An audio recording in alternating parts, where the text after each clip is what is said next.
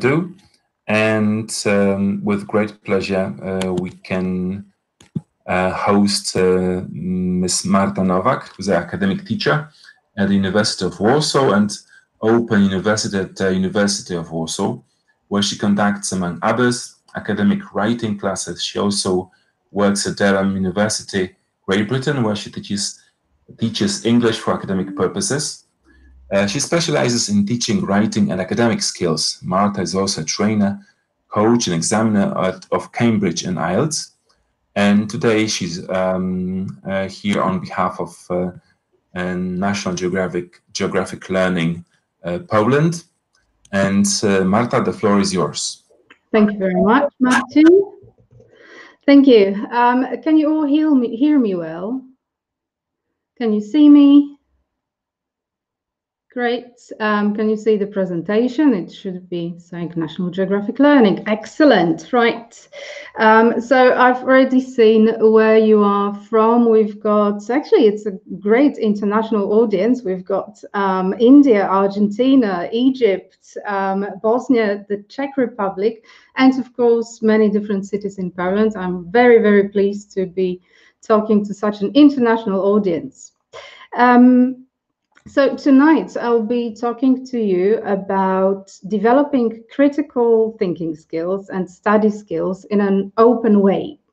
Um, I have been told that the title of my presentation may be somewhat confusing, so let me begin with explaining the acronym and the background to this title. So you know, EAP traditionally, let's say, or in the world of teaching English, stands for English for Academic Purposes. And very often it is associated with um, those intensive courses um, that take place in the summer. Those courses are usually for international students who are going to do their master's or their undergraduate studies at universities in English um, in English-speaking countries. So these courses are called pre-sessional courses, um, and that's the type of teaching I also do in the UK. Um, I've been working at uh, Durham University for, well, a, a few years now. Um, and, uh, you know, this is what EAP is most often associated with. But um, I have been back to Poland, um, back in Poland actually, um, for more than two years now. And I've been trying to show that EAP is much more than just pre-sessional courses. So I've been playing around with the acronym and I've been playing around, you know, with the name um, a little bit. And in my previous webinars for NGL and for IATEFL, I talked about the differences between teaching general English and English for academic purposes. Um, and, you know, and so that's the, let's say that's the first EAP. Then I would like to show you that EAP is, you know, it is much more than English, um, and actually it is much more than academic purposes. Um, because, you know, the, the skills that we teach um, in the academic context, they can they are easily transferable outside the classroom. Today's EAP, so explicitly acquiring practical skills, um, it's you know that that focuses on developing critical thinking skills and um, and study skills which are essential in creating more independent learners.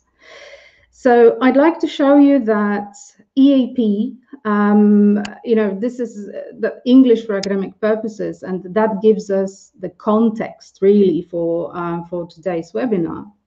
But this is much much more than that. And I believe that, you know, not only pre-sessional students um, can get this type of training, but also second language students or foreign language students. Uh, when we talk about Poland, so students who study in Polish at universities, but who attend English classes. So the idea is that English for academic purposes can be available to a much wider range of students and um, and I believe that it's more suitable for the academic context. So that's the that's the EAP um, I'm going to talk to you about tonight. Right, um, my my talk tonight is divided into three main parts. So first we'll focus on the what, trying to define um, who independent critical thinkers are. Um, secondly, we'll look at the reasons why naming is not shaming, why using names, why labeling um, critical thinking skills and study skills, um, why, why it's so important in the process of learning. And in the third part, I'll show you, um, I'll talk about questions, using questions in developing critical thinking skills and study skills, um, using the right questions. I will be using examples from Pathways, which is a five-level course um, in English for academic purposes from National Geographic Learning. So let's begin. In the abstract, in the invitation for this webinar, there was an unfinished statement. If you read the invitation, you might remember it, but if you haven't, don't worry, I'll remind you um, in the next slide. I would like you to think about, you know, when you think about hmm, independent critical thinkers, think about your students. Um, what makes an independent critical thinker? What would you, you know, what would make you say, ah, this student has amazing critical thinking skills? I'd like you to, you know, to, to think about, you know, what independence in the learning process means and what, how would you define critical thinking, what kind of things a critical thinker, um, an independent student who thinks critically, what kind of things they do, what kind of things they say. Um, do they have any habits that make them independent? Please share your answers in the chat. I can see that some people are writing. So we've got self-study, asking questions, mm -hmm. finding us on their own, exactly. Thinking outside the box, mm -hmm. being reasonable, yes. it's a bit vague, but yes. Uh -huh. Questions, opinions, exactly. Mm -hmm. Expressing own opinions, yep. Giving their arguments. Analytical thinking, use of strategies. Absolutely. Mm -hmm. Thinking differently. Ah, like Apple products. Oh yeah, that was um, that's very good evidence of um, amazing critical thinking skills. Uh -huh. Being reflective, considering. Thank you, Peter. Yeah, considering alternative views and opinions. Absolutely, taking into considerations what others have to say. Um, mm -hmm. Being curious, being well read, Great, great. Thank you very much. Um, lots of very, very interesting answers. Um, all of them fine. You know, this is not one of these questions where you know there's correct or incorrect answer. Um, of course, there's no one single definition of um, you know of an independent student who thinks critically, and everything you said um, I'm not going to edit the slides now, but I would definitely put it on the slides. Um, so I'm going to show you um, I'm going to show you um, some features of an independent student who thinks critically that I collected um, when I was doing my research in preparation for this webinar. Um, I read some studies. Um, well, I actually read materials by Olwyn Alexander from Heriot Watt University in Edinburgh. Um, she's a great authority in the world of EAP. And um, I found some inspiration that helped me um, structure the ideas, organize the ideas about independence in learning and about critical thinking. So an independent student, let's start from independence, they work smart and they learn effectively on their own. And my second question to you right now is, what does working smart mean to you in 2020 when everything is done online? What is working smart? What does it mean to you? When everything has been moved online, what is working smart? You can see some people are writing. Uh, yeah, knowing where to look, mm -hmm. finding easy solutions. Mm -hmm. Yeah, work smart, not hard, right? Mm -hmm. Using time and resources wisely, definitely. Yeah, use of time effectively. Yes, being able to um, fight with procrastination uh, being curious, best possible solutions. Hmm? Exactly. Yeah, so working smart also does have, um, you know, there are different ways in which we could interpret working smart. Um, I definitely agree with with what you're saying. Yeah, getting good practice. Mm -hmm. Yeah, having good, you know, doing good practices, having good habits as well. Knowing weaknesses and strengths. Oh, I like that. Great. All right. Thank you. Thank you very much for great answers. We will talk, actually, I will talk a little bit more about features of independent learners in a minute. Um, but now I'd like to move on to talking about critical thinking. Um, you know, as teachers, we are often asked, um, we are told, you know, um, critical thinking is important, teach more critical thinking. But I think that sometimes there is some kind of mystery about what exactly critical thinking is. So, um, so if you you know if you if you think about it, um, the three main points that I would like to explore today are first of all, it is being able to take a stance. It is being able to have a clear position that is supported um, by evidence from sources. I will be using a little bit of this um, academic writing talk. Um, if something, you know, if you want me to clarify anything, just please let me know in the chat. So yeah, having a clear position. Um, speaking of academic writing, this is one of the or the most important thing in any academic essay, a clear position, a clear opinion. Um, I'll talk about the word opinion in a minute. Let's stick to position, answer, stance, all of these, right? So that's one thing. Um, an essay without a clear position is not a good essay simply. The second thing to consider is the ability to evaluate according to clear criteria. The ability to, to assess whether, for example, something is good or bad. Um, and that assessment is done based on certain criteria. And the third, um, the third feature of students who think critically is that they, they are able to link, they are able to connect, to make new connections between what they have already learned with something new in a new context and in a new situation. So they are able to apply their knowledge. Now, um, where does this let's say a definition, maybe description of um, a student who thinks critically come from.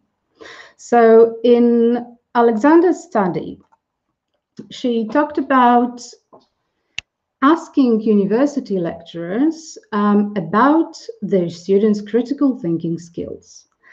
And the most interesting thing was that lecturers often noticed the lack of critical thinking skills, but it was more difficult for them to define what exactly they wanted their students to do.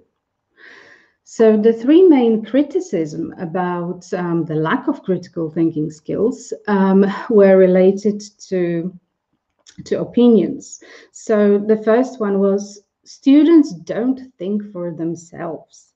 They don't give their opinions. Actually, I can relate to that. Um, when I think about teaching how to write essays, um, and now I'm talking about more general English classes rather than working with postgraduate students who are preparing to, to write the research papers. But um, students at, let's say, B2 level, um, and the essay question is, should university education be free for everybody? So when I mark those essays, what I often see is, um, well, some people say that. On the other hand, other people say that. So to sum up, people say different things. And then when I give feedback to that student and I ask them, um, yeah, but what do you think? What is your opinion? Uh, I, I, I, don't know. um, some students actually they are surprised that they are asked to give their opinion um, in in writing.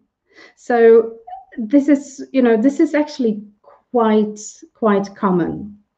Um, something that I also see. Um, oh yeah, someone said me too. Yeah, uni prep students usually have difficulty in finding ideas or giving their opinion to write about. Exactly. Well, yeah, we one of the one of the reasons for that is that yeah, there's no not enough discussion, not enough debate, not enough input for them to formulate their opinions based on something. Um, I'll show you how you can fix it with students today. Right, so one thing is opinions. Mind you, when we're talking about opinions um, in the academic context, I just want to clarify one thing.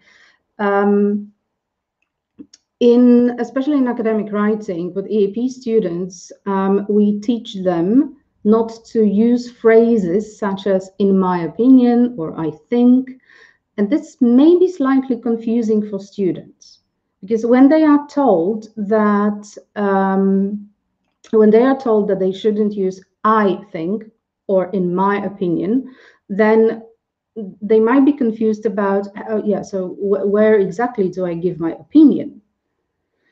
Um, so this is only about the use of language this can be, you know, an opinion, a position actually, coming back to the previous slide. Um, so the position can be expressed um, in, you know, in words, in phrases such as this essay will argue that. So that's what you can teach instead of I think. Right, um, so working on opinions, thing number one. Another criticism that university lecturers often have is that um, students, they never question what they read, that they're not critical enough. Now, if you give feedback to a student on an essay and say, you are not critical enough, will they know what you're talking about? Probably, probably not. So that's another area to explore the the questioning, the you know the constant asking. So what's wrong with it? What's wrong with this argument? Can I accept it? Yeah, is it logical? Um, has the author missed out any information? By the way, these are the three critical questions we teach um, at Durham University um, when we talk about argumentation evaluating arguments. Um, I'll repeat them. So can I accept the premises? Um, do the premises lead logically to the conclusion of an argument? And has the author neglected or missed out any important information? These three questions um, are not only useful at Durham pre-sessional courses, they're useful in everyday lives when you watch TV and you know when you read papers. So making sure that students ask or well, it's not asking, but making sure that they question the world around them. That's important and that's critical thinking. And the third um, criticism um, is that students that students just regurgitate. That's a lovely word, by the way. They regurgitate, so they they simply repeat facts or ideas without thinking about them first. Um, and that's very true as well. The fact that you used a source, um, it's not the end of the story. You're formulating your position based on a source, but do something with it, evaluate it, think about the source itself. So these are the three important features, um, three elements in developing critical thinking skills. Now let's um, let's turn to a few more details about learner autonomy. I am using learner autonomy and um, learner independence interchangeably. Someone might want to correct me, but for the purposes of this um, webinar, I'll stick to that. So one of the most important features of independent learners is that they are happy to, to try out new things, new approaches. When you think about 2020, and um, I mean teaching online to be more precise, and how we all simply had to adapt and move to the online world. I've noticed that students who are reluctant to, to accept the situation, um, those who are not really happy to try out different types of software, um, those who complain about, oh, but I, I used Zoom and now I need to use Teams and it's different and I don't want to. Anyway, it's actually, it's not just students. Um, it's sometimes it's teachers as well. Those who are encouraged to keep an open mind and try out new things, um, these benefit the most. Um, creating such atmosphere of, you know, of, of mutual learning, mutual respect for this is new. Okay, let's take time and learn it. You know, this is something, this atmosphere of trust as well. This is something that helps learners become more independent. Um, this is actually related, this, this atmosphere of trust it's actually related to the second point, which you can see on the screen. So making guesses um, and answering questions without thinking whether the answer is correct or not. So, well, these may not be language related questions, but different types of questions.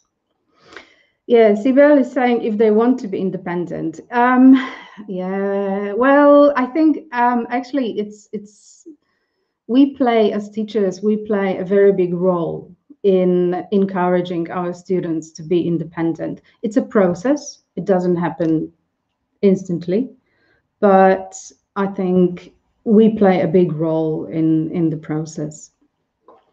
Now, um, what else? what else um, related to independent learners? Um, one thing that I want to emphasize here is engaging in the learning process consciously, um, becoming more aware of not only what I need to learn, but also about how I'm going to do it and what it's going to take for me to, to learn it. So another feature is um, is raising awareness of the learning process itself. Um, right, so we've got some features of independent um, independent students. And, um, and so far, we know we want independent students who are able to express clear positions, supported, um, supported by evidence, um, students who want to question the world around them, and students who just don't, who don't just repeat um, what they've read or heard. Now let's talk about why making the whole process um, with naming those skills which are involved in um, in critical thinking skills and in study skills, why um, why it should be explicit, Why it should be open? Well, simply, I believe that students should know what they're doing when they're developing critical thinking skills. In you know different course books, different materials um, for language instruction, for learning English, um, it's they have very clearly labeled language skills. So it's obvious to students that, oh, right now I'm combining um, a listening task with um, with some grammar, you know, in the listening task. Oh, I am practicing listening for detail, or I am focusing on, oh, this will help me to develop my understanding of the main ideas. And the same thing should be done with critical thinking skills. Critical thinking is is a skill yes it's massive it's it's huge you know listening again we talk about different many different sub skills and it's the same story with critical thinking um, so so let's talk about thinking the word critical is um, somewhat distracting and slightly ambiguous in the name critical thinking. So if we move away from the word critical and we focus on this much more useful word, which is thinking, we will discover that you know it reveals a whole range of different thinking activities.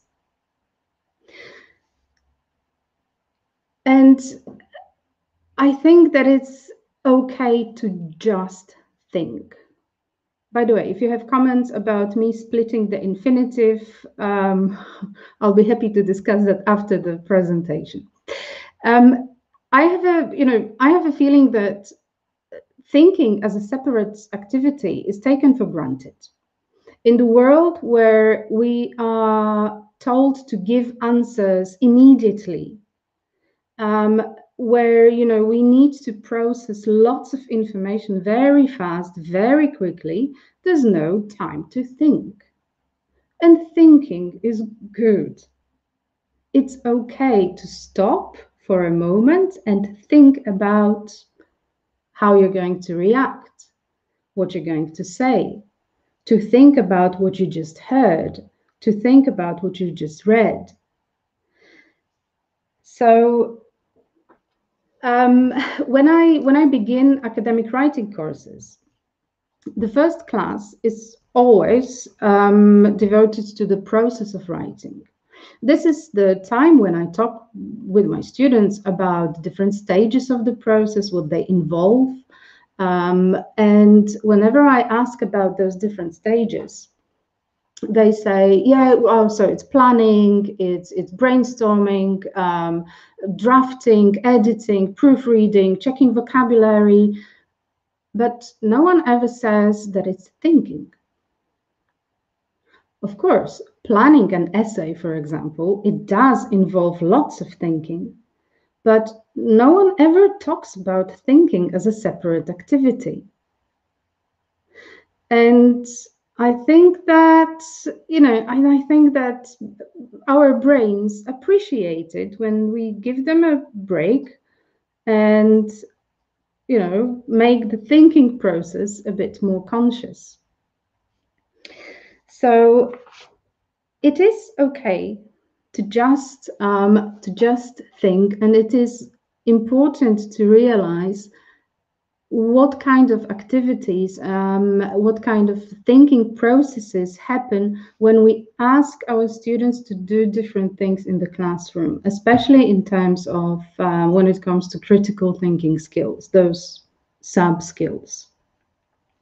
So when we think about thinking, um, there is this, you know, thinking skills can be characterized on a continuum of levels. Um, lower levels, um, like remembering or repeating information, uh, memorizing, identifying things. So these will be simpler thinking skills.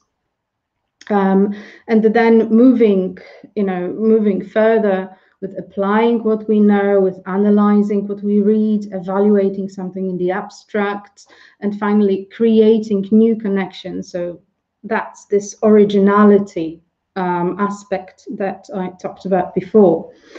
Um, I believe that knowing how much mental effort those different levels, um, those different, well, activities which involve those types of thinking, how much mental effort um, they involve, this can also help us plan our classes better. Um, someone is asking, can you do anything without thinking? um, maybe. Yes, of course you can. Lots of things. This is how we make mistakes in life. Um, I'm sure you can. You, you know, every single activity, of course, it is um, you, you do it together with with thinking. But what I want to do now is to kind of separate um, critical thinking, and especially at higher level, um, from uh, you know, to treat it as a separate activity. Therefore, perhaps allow a bit more time for a more complex activity. If you're looking at the slide and thinking, oh, that looks familiar, um, yes, yes, it does look familiar. Um, it is the revised Bloom's taxonomy.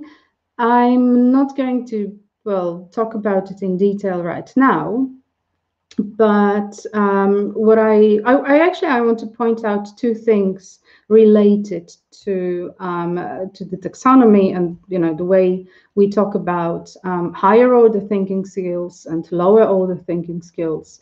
The the first thing is that um, actually it depends on the source. I think because when I was doing my research, I I found some differences where exactly higher order thinking skills begin. Is it applying or is it analyzing? Somewhere around, um, somewhere around there. Um, now, there are actually there are two issues that um, that I want to discuss. The first issue is that when we when we talk about critical thinking, um, very often we mean only higher order thinking skills. Um, but critical thinking, you know, understanding or identifying um, information, this is also thinking. So, so one thing is that um, one thing is that those simpler activities are also examples of thinking. So they should be focused on as well, not only higher order thinking skills. Um, another, you know, obviously we do want our students to develop as much as possible um, in higher order thinking skills. That's not what I'm, you know, saying. I just want to make a point that lower order thinking skills are still thinking skills. And they should be there in the classroom as well. So that's one point. And another point is in when you think about um, teaching English, for example, um, higher order thinking skills are quite often um, they're quite often expressed through rather complex content and language and explicitly teaching critical thinking is delayed until higher levels of proficiency so we've got two issues here. Yeah, only focusing on high order thinking skills and um, and waiting until our students reach a certain language level. So what I want to show you is that Pathways, um, National Geographic Learning course, that actually it deals with both those issues analyzing, applying, evaluating, inferring. Um, these are examples of some critical thinking skills um, practiced in the book, developed in the um, in the book. Um, and when you look at the list, well, inferring meaning, so reading between the lines, um, this is actually related to understanding, to identifying. So you could say that if we wanted to, to categorize those um, those critical thinking skills, that would probably belong to a lower level, um, lower, sorry, lower thinking skill. Um, so we've got a nice mix between higher and um, and lower um, order thinking skills, of course, with the focus on HOTS, so high order thinking skills. And another um, another issue that is stressed in the book is that um, critical thinking skills are taught from lower levels of proficiency. So this example, what you see on the screen, this is listening, speaking, and critical thinking, um, level one, which is CFR A2 B1 level. So that's a great thing that you can introduce um, elements of those quite early. And um, another thing is that those critical thinking skills are very clearly labeled for you in the book. So you don't need to think about, okay, so what are my students doing right now? It's, it's done for you. I've been focusing on on the students, well, on students in general um, so far, but I'd like to take a moment to focus on us, on teachers, and critical thinking. As teachers, we we make hundreds of smaller and bigger decisions every day when it comes to teaching a language. So we think about which language skills are being developed right now, how to integrate one with another, um, what's the best sequence of activities um, that will help achieve those learning outcomes, what's the best timing, how much time should I give um, my students to do a certain task.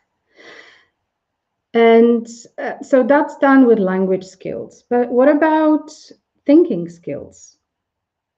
We also, you know, when we make those decisions, uh, we also exercise our critical thinking skills, but being more aware of critical thinking sub skills and being able to name them may help us plan better lessons and allow our students perhaps more time when they really need it, when the task is more complex. So that's something to be taken into consideration by teachers as well. Knowing how to name those skills, um, knowing ways in which those skills are developed will also make the process of assessment much clearer.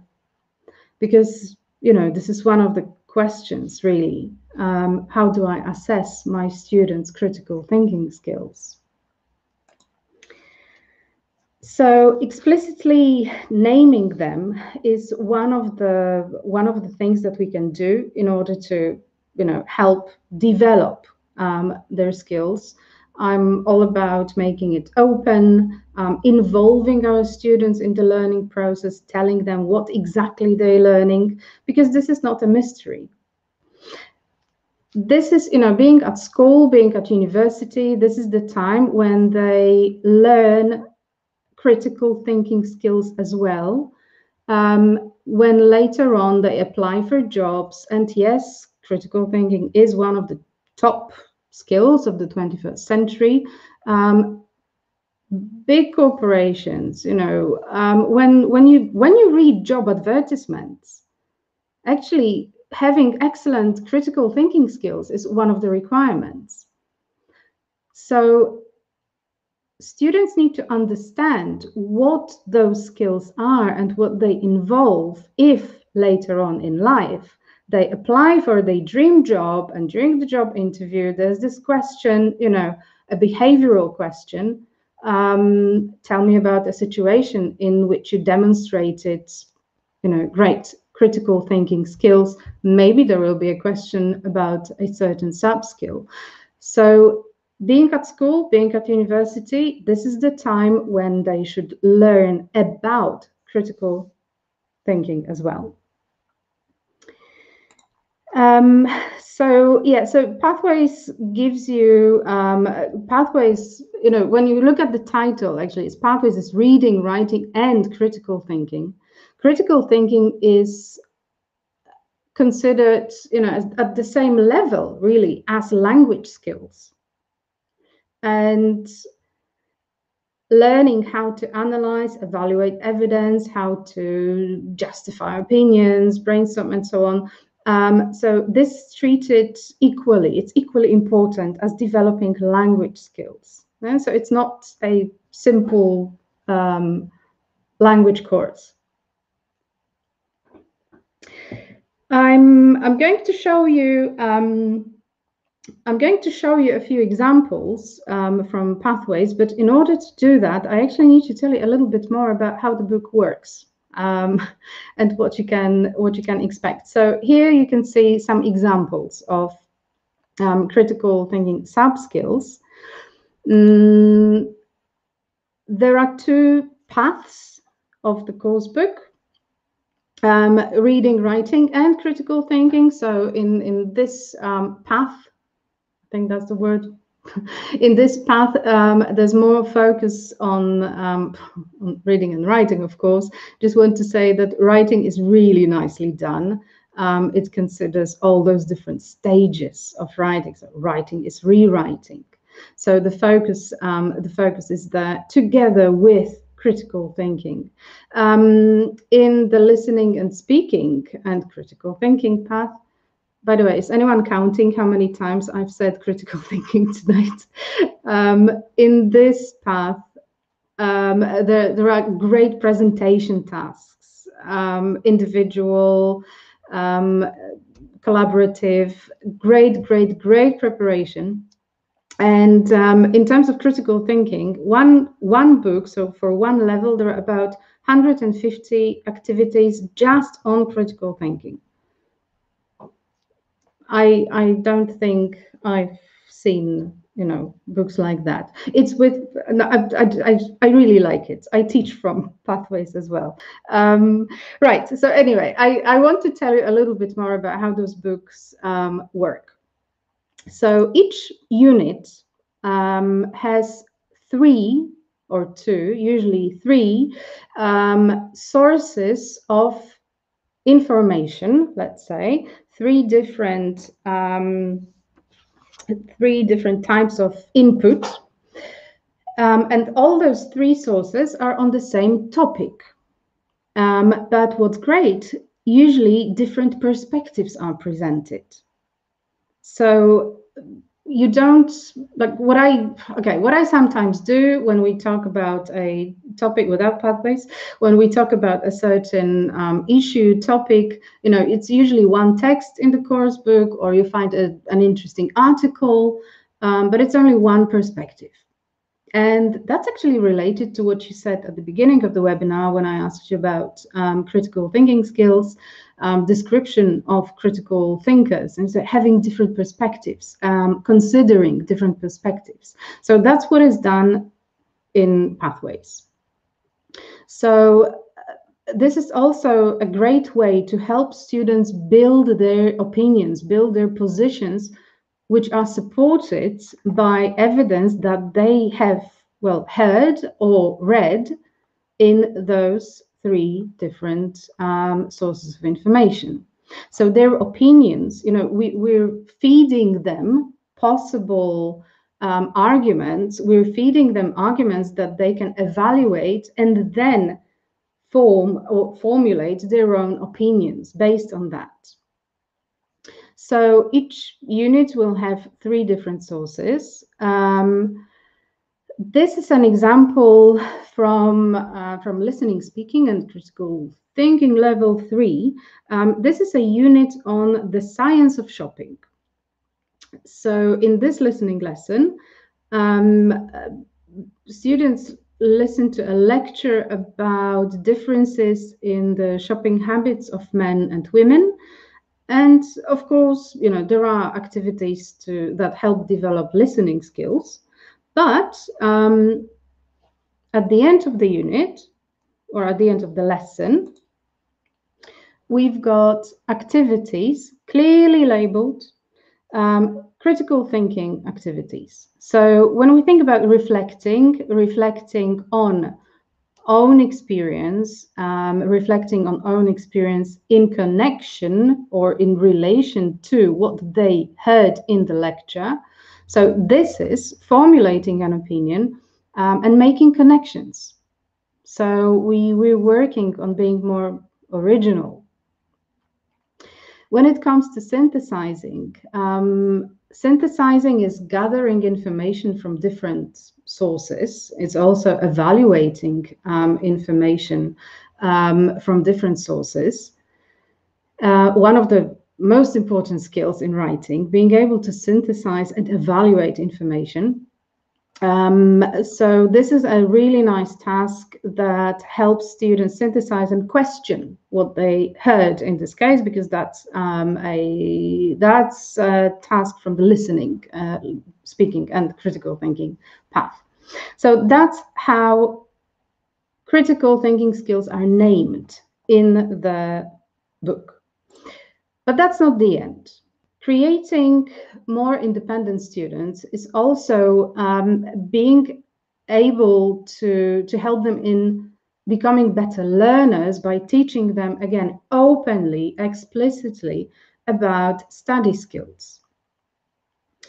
Whenever I ask my students about their note-taking skills, they all claim, yeah, they're good. They have great um, note-taking skills. Well, but when I ask them about, okay, so how many different systems of taking skills, I'm um, sorry, of taking notes do you know? Um, they don't know. They, they, you know, I think there is a big assumption um, that students somehow just learn how to study. Sorry. Um, but this is a skill this is a skill that can be worked on. So when we think about study skills, um, note taking, why is it so important in the academic world? Well, first of all, it's the first step towards avoiding plagiarism in writing. Knowing how to take good notes means a lot of things. It's, it's, you know, it is perhaps choosing the best system that will work for you, but also the system of taking notes will depend on the content of the lecture or of the text. It is also rewriting, it's editing notes, um, it's you know constant questioning what you're reading or what you're listening to. And all those skills are also developed in pathways and they are named. So apart from useful information telling us about different systems, for example, T-chart, mind map, concept map, um, diagram, um, there are activities which help develop those skills. And again, they're clearly labeled, so students know what they're doing.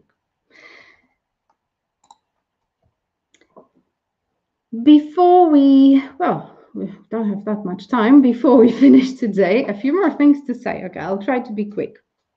So the power of questions. Um, I am also I'm also a, um, a certified coach, and I must tell you that learning to use the right questions is not that easy at the beginning. Thinking about which questions you should ask to get, you know, to help the person get a better insight to make the person think more about well, their lives, jobs, and so on. Um, this is a skill as well. So I want to tell you a few things about um, about the questioning approach and about choosing the right questions to ask our learners because asking questions is one of the best ways um, to create more independent critical thinkers when I was, again, when I was doing some research in preparation for this webinar, I came across Brian Oshiro um, and his TED Talk, which I recommend as well. You can see the title on the slide, Encourage Critical Thinking with Three Questions.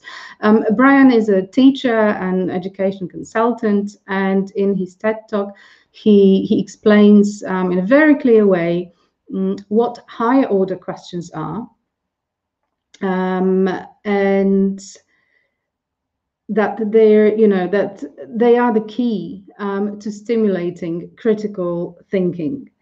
Um, okay sorry i'm just looking at the chat.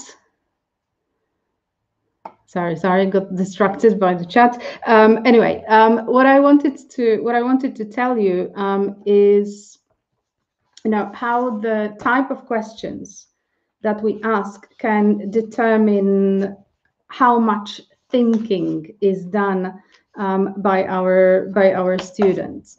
So higher order thinking, uh, higher order questions. Um, they just like in coaching. In coaching, we talk about powerful questions. Um, in teaching, we talk about higher order questions. So they answering them requires much more effort and much more thinking.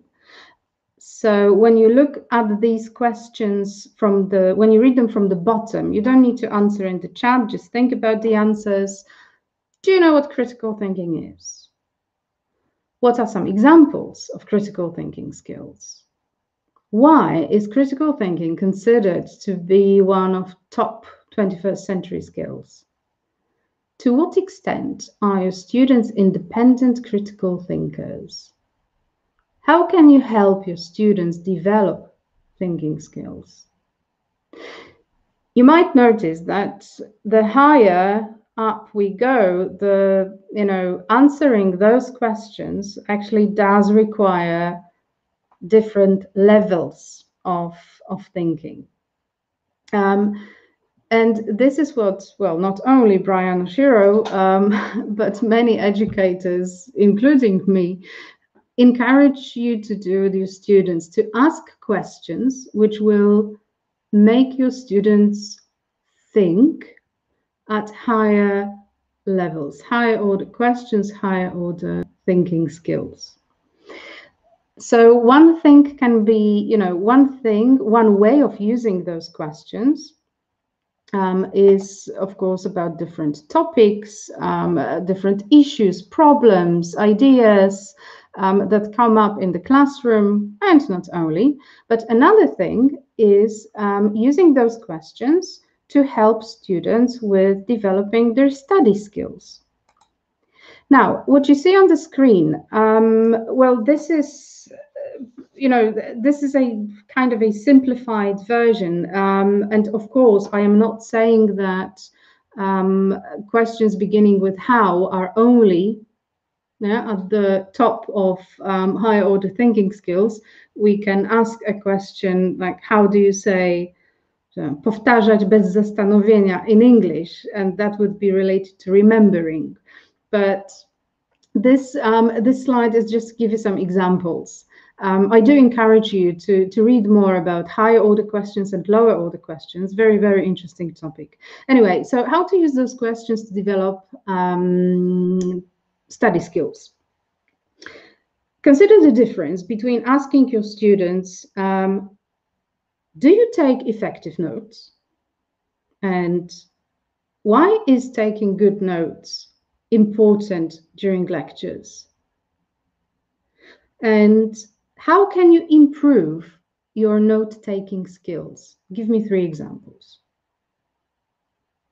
And so using higher order questions to get a better insight, to raise awareness of the process of learning is important too. And finally, I'll show you how it can be all put together in a really engaging and um, enjoyable lesson about photographs, National Geographic photographs. So there is um, there is a very very interesting text um, about what makes a photograph beautiful. If we had more time, I would probably ask you about your ideas, but you can you can actually you can read the text um, because you can download a sample unit um, of actually each of the levels. Um, Adrian, I believe, or Natalia will We'll send a link in the chat where you can download um, sample units or maybe they have already done it. Um, if not, if I could ask you to send a link um, to the website where everybody can download. Okay, great, Natalia, thank you. So, um, so we've got this lesson on beautiful photos and what makes photos beautiful. Um, actually, photography is one of my hobbies, so I was happy to read the whole text. Anyway, um, the lesson helps students develop their reading skills. Yes, um, there's work on vocabulary. Yes, but apart from that, um, we've got a really lovely combination of um, developing study skills. So using a concept map to take notes from the reading. Here, the reveal moment, elements of a beautiful photograph, light, composition, moment, wonder, time, and plot. If you want to um, find out more, read the text. So students, um, uh, you know, they take notes, they develop these study skills, and um, and later on there are some photographs to evaluate. But it's much, much more than saying whether you like the photo or not. Um, it is actually applying ideas. It's applying the criteria, clear criteria to evaluate um, photographs. I would definitely take it to the next level and I would organize a photo competition with my students where I would ask them to, you know, experiment with their smartphones, take photos which um, take photos which um, which follow those particular elements, which have those particular elements of beautiful photographs, then upload them, you know, have a comment section. And again, we've got originality, we've got positions, we've got opinions, and those opinions are based on clear criteria. So that's an example of how it could be done. Um, as a recap from our webinar today, I'm just going to ask you to, you know, to think about um, how you would finish the sentence. It is the same statement. Um, think about the three elements about opinion or position, um, evaluation, questioning, and and originality. So that's all from me. Um, if you want to learn more, if you want to um, learn more about the book, if you are in Poland, I guess, um, Adrian is your person. so these are contact details um, for um, to Adrian. And well, we don't really have time left for questions, but um, if you have any questions, I'll be very happy to um, to contact you, or actually you can contact me. I'll write my email in the chat if anyone um, is interested. I'll be happy to discuss more about yeah, that's EAP Academy PL. I'll be happy to talk more about critical thinking um, and academic skills, academic writing, um, and coaching. Thank you very, very much. Thank you.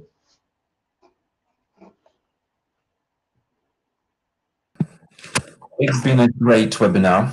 Uh, thanks a lot, Marta. A lot of ideas, a lot of resources, but a lot of um, food for thought. So, um, well, uh, it's a critical thinking webinar uh, indeed. I must tell you guys that um, if you uh, analyze all the webinars of IATEFL Poland, critical thinking, apart from uh, psychology and well-being, is the most uh, often spoken of um, topic uh, since the interest is so so great. And I, I believe that uh, the times that we've got now, that the time of pandemic, of political changes, of environmental changes, uh, force us to um, simply get better at uh, critical thinking. Uh, Marta, um, once again, thank you very much for uh, for you being here. My and pleasure. Thank you. Thanks a lot. National Geographic Learning. Thanks a lot to Adrian and uh, to Natalia uh, for for making it possible that Marta is with us. Guys, I would like to um, um, take your two minutes just right now because I would like to uh, take you uh, once uh, again uh, to IATEFL um, Poland. And um, IATEFL Poland because um, I would love to um, make sure that you go to IATEFL Poland uh, Facebook and you enroll for the next uh, great uh, webinar. Okay, uh, the next great webinar will be on pronunciation and it will be delivered uh, by Sylvie Dolakova, uh, and it will be in a week's time. Okay, so thank you very much. Um, the um, certificates will be sent to you. However, please um, make sure that you also take a look once again at the webinar to take notes of great uh, resources. Okay, thank you very much.